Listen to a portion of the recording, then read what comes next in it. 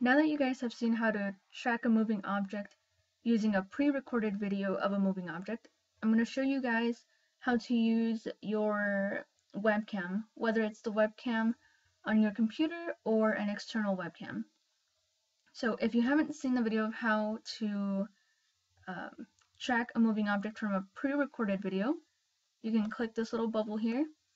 Uh, if this is your first time uh, with a Visual Studio project and Open CV libraries, click on this link here and it'll show you um, how to set it up and then you can watch this video.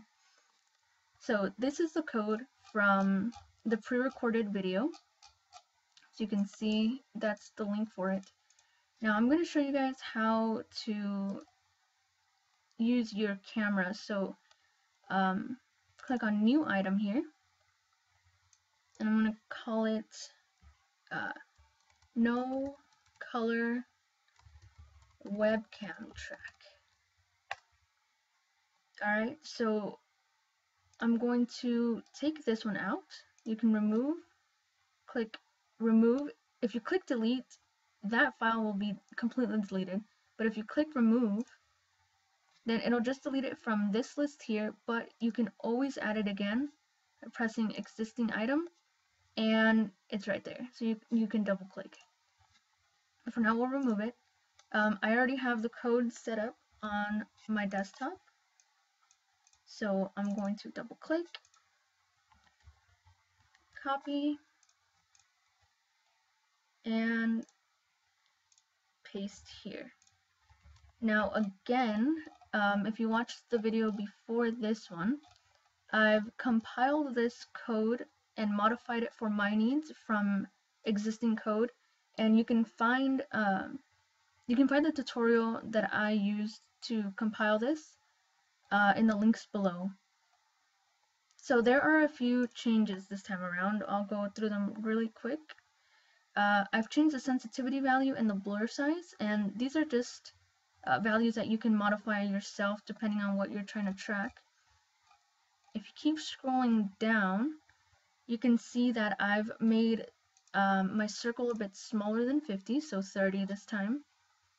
Um, and this is just from working with it before I, I'm showing you guys. So you can modify this and make sure you modify your crosshairs as well. You can make your crosshairs bigger, larger, it doesn't matter.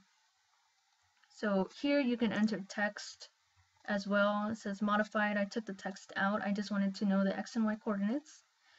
So if you remember in the other video, I didn't go into um, detail about it, but here we no longer have the video path, the file path for the video. Now we'll be using a webcam. So remember that 0 equals built-in camera and 1 equals external. Alright, so I'm going to be using an external camera because I've already set it up to show uh, the moving ball. And also make note of this, this loop is now outside of a while loop that used to be there. So um, you guys can you can check the code that I had before, check it against this one, and you'll see that this is now outside.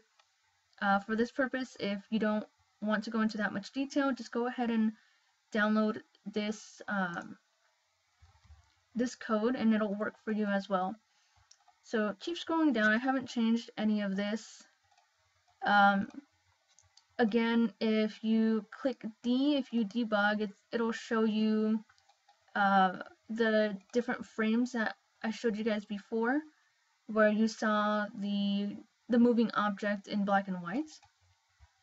Um, I've also modified the waitKey Again, you can make this larger, smaller, just play with these values, uh, the ones that say modified, and you know, it'll clean up the, uh, the video for you guys.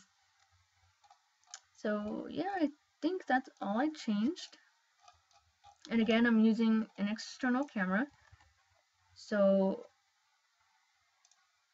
we'll debug this. And you can see this is the image that I'm looking at. So I'm going to roll the ball back and forth a few times. That's what it looks like. And again, this is live, it's not pre-recorded. Alright, so now I'm going to track it by pressing T. Okay, you can see the crosshairs are looking for a moving object. And there you go. Again, you can clean up your code, make this uh, make this a little bit more accurate. For the purposes of this tutorial, this is fine.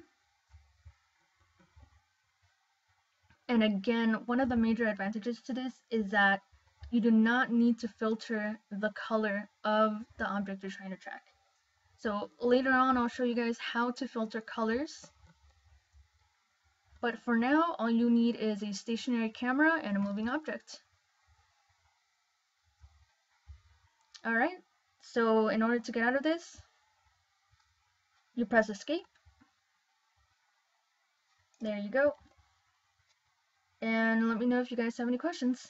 Thanks for watching.